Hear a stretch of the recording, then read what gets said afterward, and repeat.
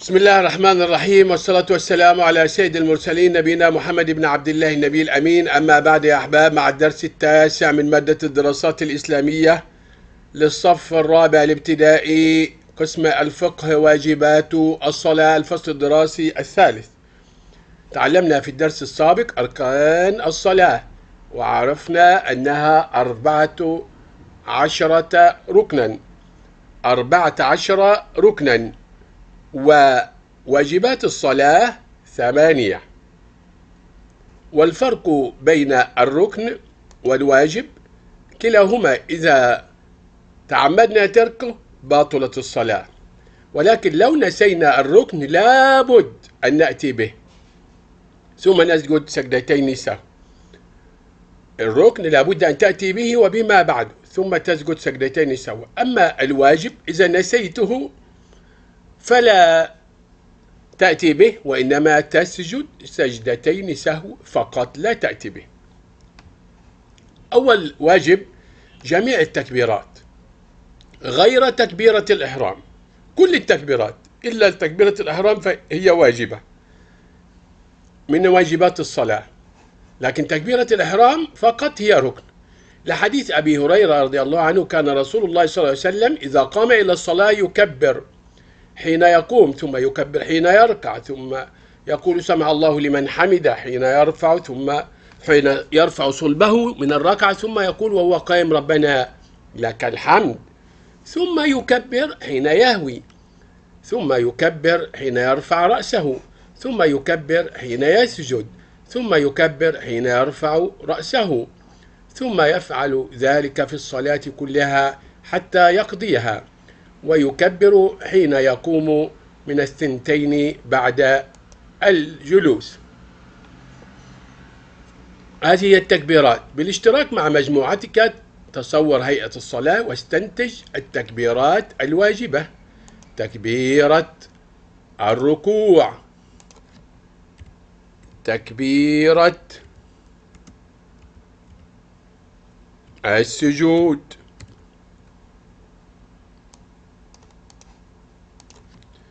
تكبيرة الرفع من السجود.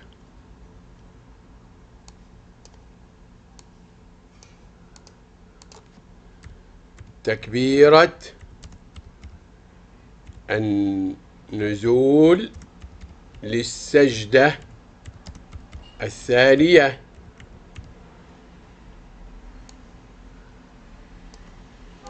تكبيرة النزول للسجدة الثانية.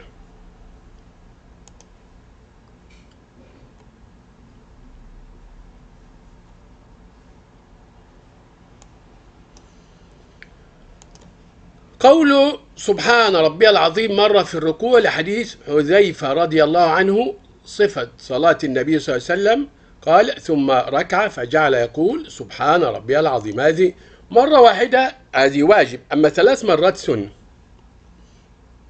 قول سمع الله لمن حمده للإمام والمنفرد لا للمأموم. المأموم لا يقول سمع الله لمن حمده. أذكر دليله من الحديث السابق. ثم يقول سمع الله لمن حمده. حين يرفع من الركعة.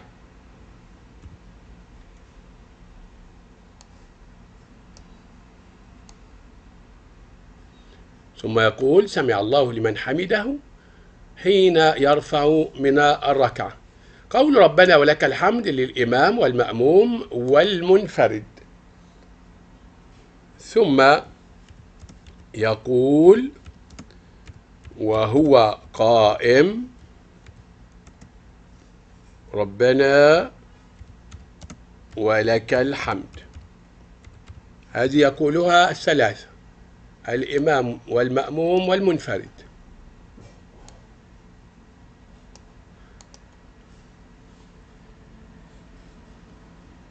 لكن المأموم لا يقول سمع الله لمن حمده.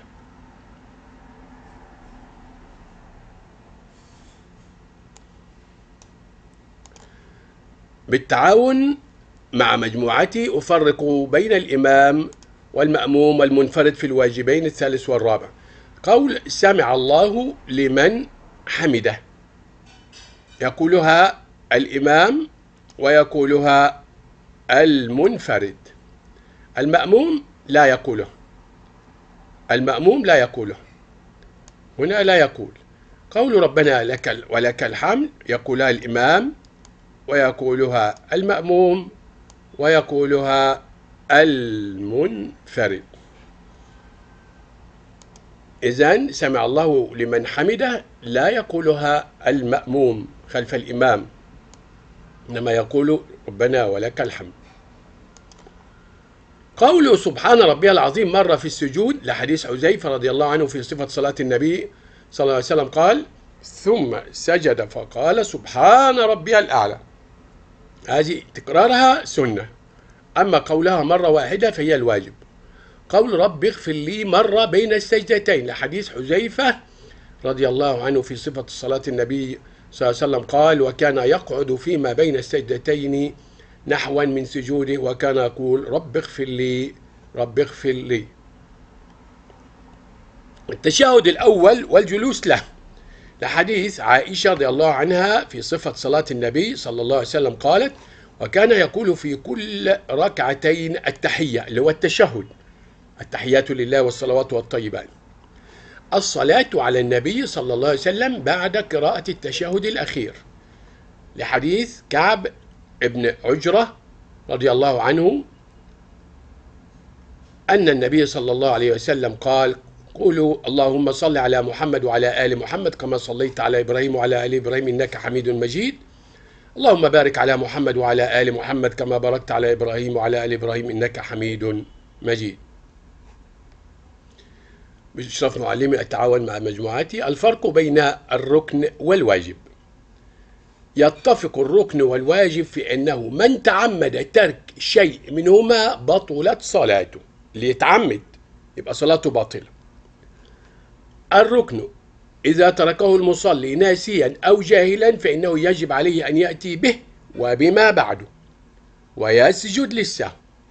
الواجب إذا تركه المصلي ناسيا أو جاهلا فإنه يسقط لا يأتي به ويسجد للسهو بعد أن تعرفت ما يجب عند ترك الركن أو واجب ركن أو واجب في الصلاة تعمل الحالات التالية وأكتشف فيها ما فيها من الأخطاء وأبين الواجب. أكتشف ما فيها من الأخطاء وأبين الواجب. صلى فارس الظهر. فلما سجد السجدة الأولى من الركعة الثانية لم يقل شيئا. لم يقل شيئا. المفروض يقول سبحان ربي العظيم. الواجب هو هنا الواجب فيه لو سجدتي سهو.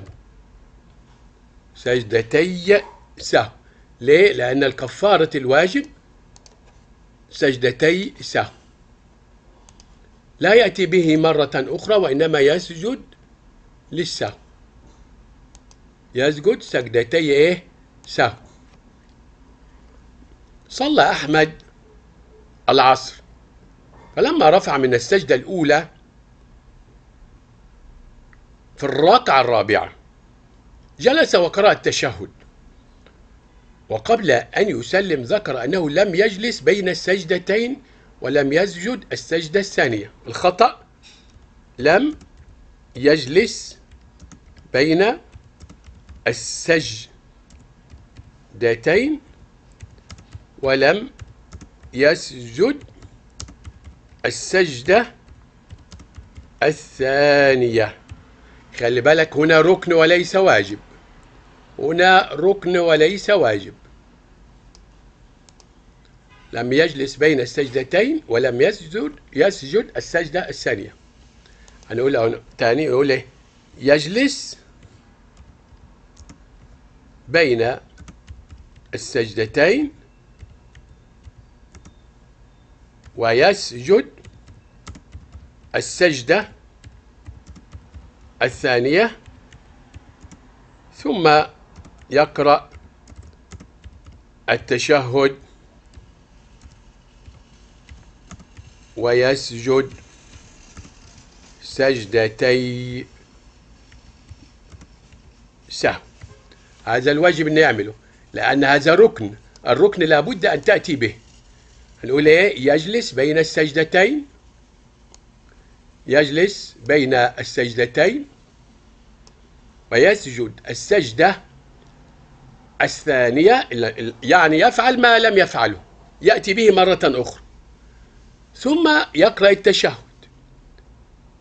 ويسجد سجدتين سهو.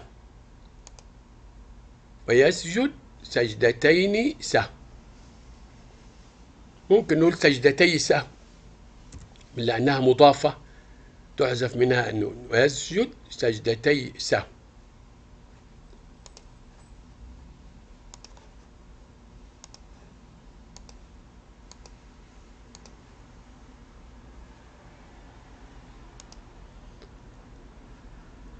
لأن الركن لابد أن تأتي به. يرجع يجلس بين السجدتين ويسجد السجدة الثانية ثم يقرأ التشهد ويسجد سجدتي سهو ننزل ونروح للحالة الثالثة. صلت أسماء المغرب فقامت من الركعة الثانية للركعة الثالثة ولم تجلس للتشهد الأول.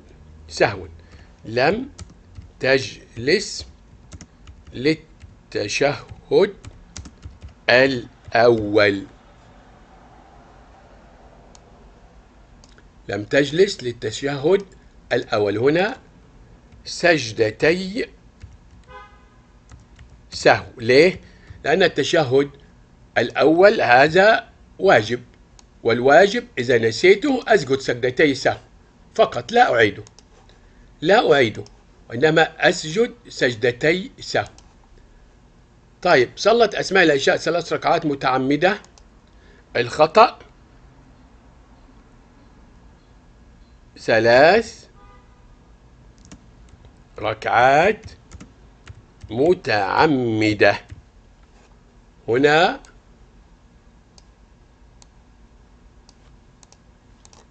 بطلت صلاتها. ويجب أن تعيدها لأن من تعمد ترك ركن بطلت صلاته. بطلت صلاتها ويجب أن تعيده.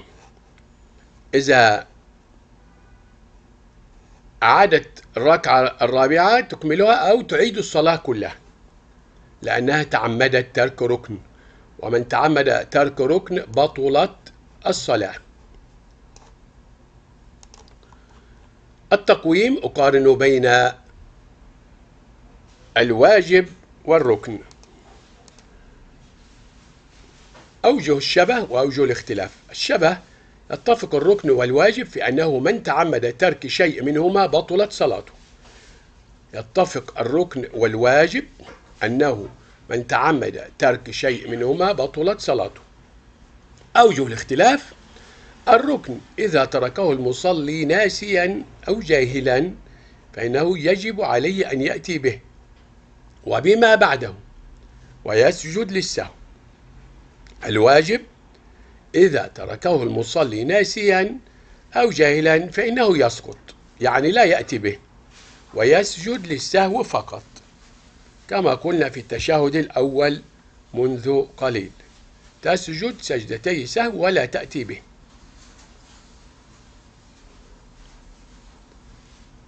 هذا وجه الشبه والاختلاف بين الركن والواجب.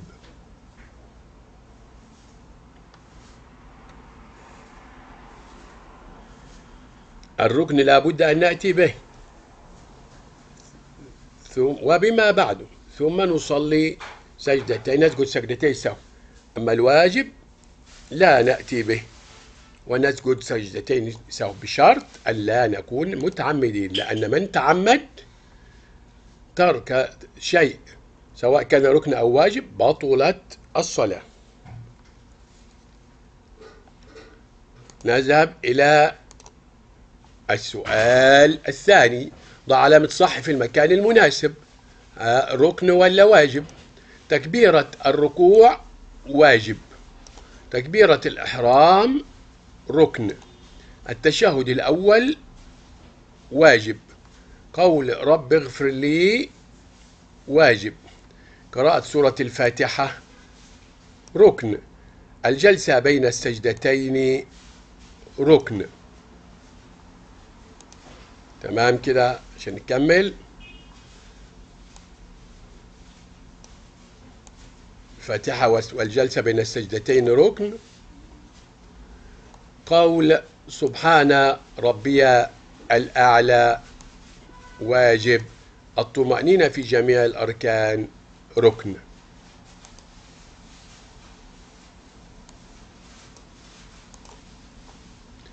ما الفرق بين التشهد الأول والتشهد الأخير؟ التشهد الأول واجب والتشهد الأخير ركن.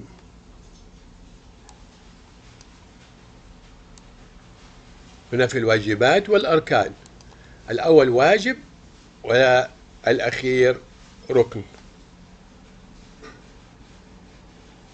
التشهد الأول واجب والتشهد الأخير ركن.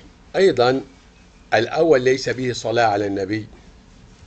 الأول ليس به صلاة على النبي